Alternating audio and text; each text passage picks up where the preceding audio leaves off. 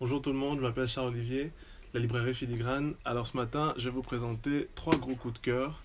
Euh, on commence avec San Perdido de David Zuckerman qui vient de sortir en poche. Alors j'ai adoré San Perdido, pourquoi? Parce qu'on est au Panama, dans cette ville euh, qui est le titre du livre complètement fictif, il l'a recréé, où la fracture entre les, riches et les pauvres, elle est, elle est ignoble, elle est juste euh, ignoble. Et un matin, dans une des chars publiques, un garçon noir, muet, aux yeux bleus, il apparaît et ce petit garçon, tout au long de l'histoire, pendant 450 pages, il va devenir euh, une légende. Il va sauver ce peuple de San Perdido. Donc vraiment à lire euh, et à, ne pas rater. Quoi. On continue avec un essai, un euh, petit essai de Tanei Cote, qui est un journaliste multi-récompensé. On le connaît dans le monde entier.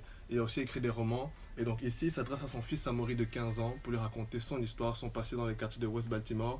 C'est génial parce qu'il construit toute une théorie sur la propriété du corps noir et le rêve blanc.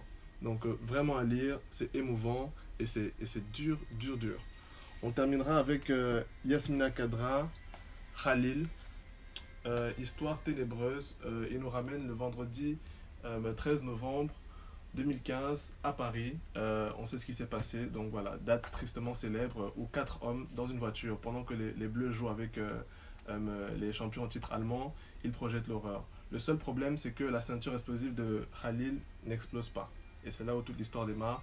Et il va essayer de s'en sortir contre un État policier qui, euh, furieux, essaie de, de, de, de, retrouver. Et un État religieux euh, qui croit, qui croira peut-être qu'il a, manqué au devoir. Voilà, qu'il a eu peur euh, de se faire sauter. c'est énorme parce que Yasmina Khadra donne la parole au terrorisme d'un point de vue inadmissible. Parce que tout au long du livre, c'est Khalil qui parle. Voilà en espérant vous avoir convaincu. Euh, prenez soin de vous, faites attention et une très très bonne lecture. Merci.